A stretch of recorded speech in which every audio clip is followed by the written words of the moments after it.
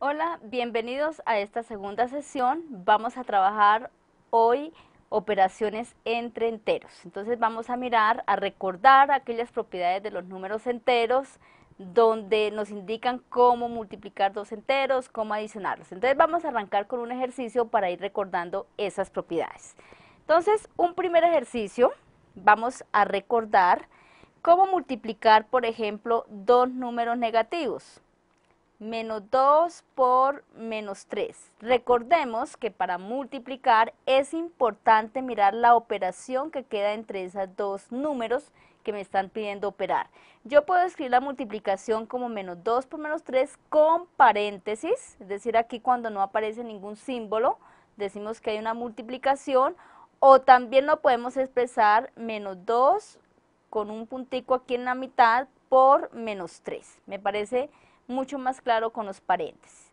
Recordemos que cuando multiplicamos dos números enteros negativos o dos números negativos en general, la multiplicación me da positiva. Entonces, menos 2 por menos 3 me da 6.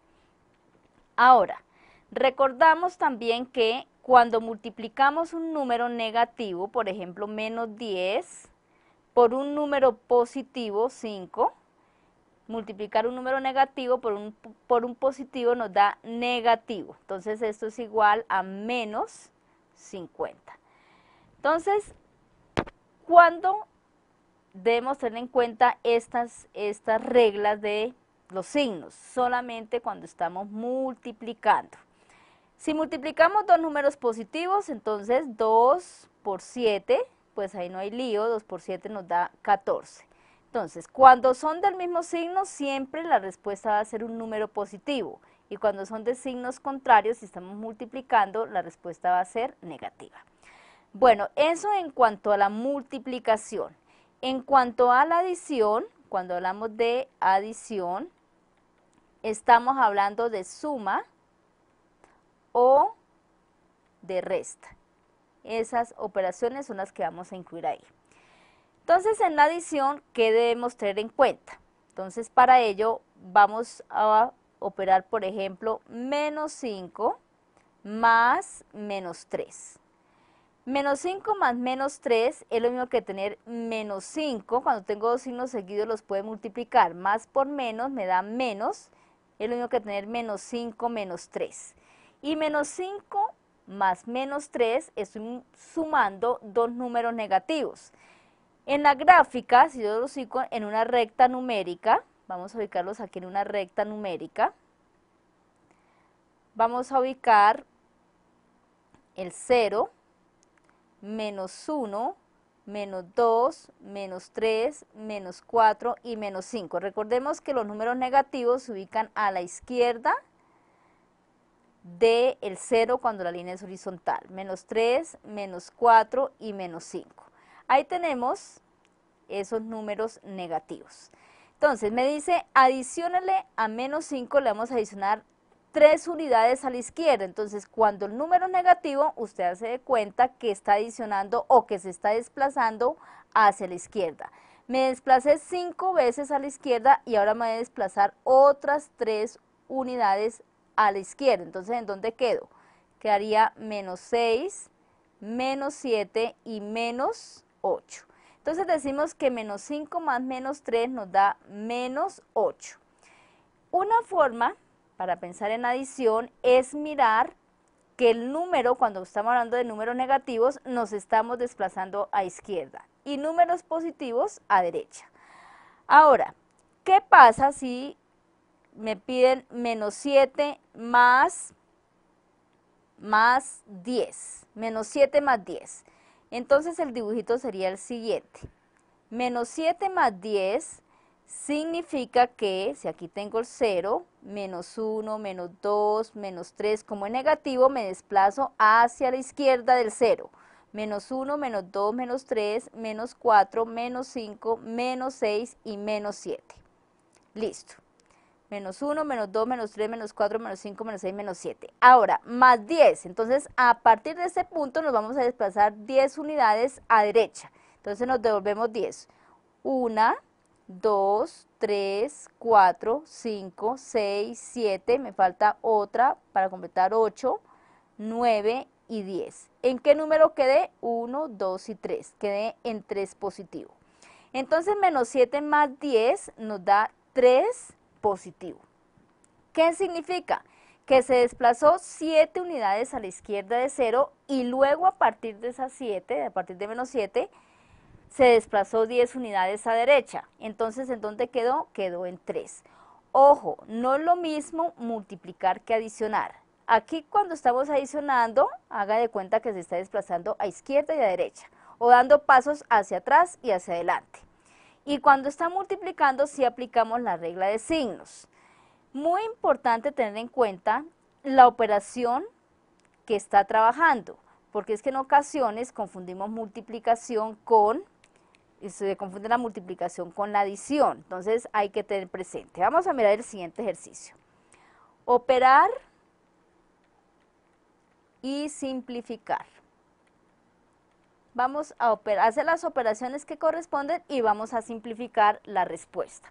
Entonces, un primer ejercicio sería, nos piden hacer la siguiente operación. 3 menos 2 por 5 menos 7 más 3 por menos 1. Entonces, primera sugerencia. Cuando hacemos estas operaciones, Vamos aquí a mirarlo con un nuevo color. Cuando hacemos las operaciones, primero hay que identificar los términos de trabajo. Entonces aquí tengo un término, vamos a mirar qué significan esos términos y aquí tengo otro término. ¿Qué significan esos términos? Entonces fijémonos en la operación que tenemos ahí. El término son los sumandos que tenemos, digamos, los externos. Entonces, recordemos que la adición contemplaba resta y suma. Entonces, aquí tengo una resta, luego aquí hay un primer término. Continuamos. ¿Aquí qué hay? Aquí hay una multiplicación porque no hay signo entre el 2 y el paréntesis. Luego este todo es un solo término.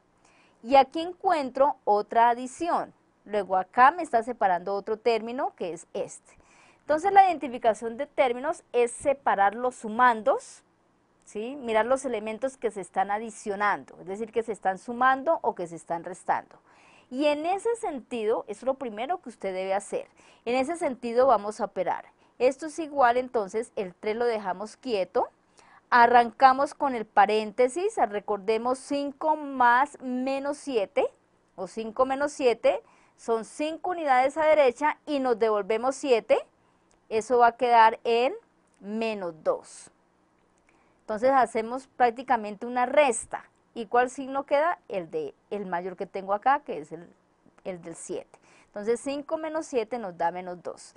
Más, ahora miremos la operación que hay entre el 3 y el menos 1.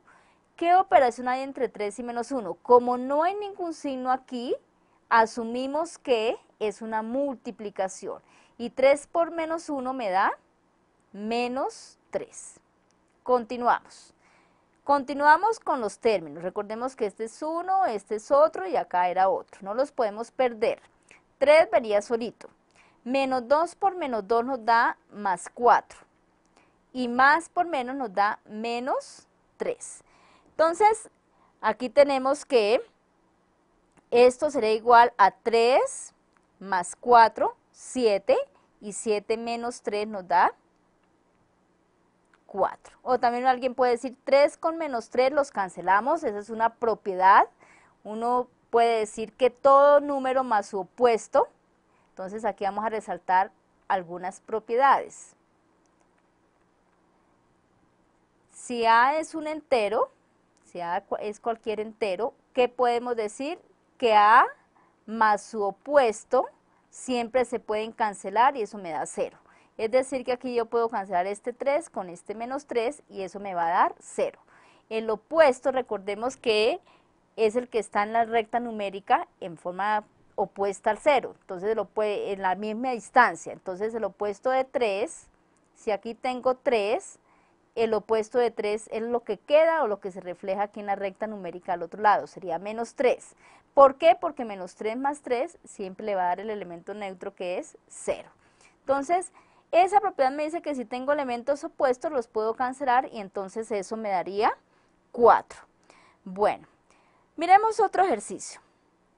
Operar y simplificar y ahí vamos revisando las propiedades. Esas propiedades están en la lectura, entonces yo las estoy aplicando y las voy a ir mencionando, pero esas ustedes las encuentran allá escritas en sus lecturas. Menos 3, menos 1, paréntesis, por menos 4, más 3, más 3, paréntesis, menos 8, más 10, menos 3, por menos 1. Entonces vamos a identificar los términos en el ejercicio.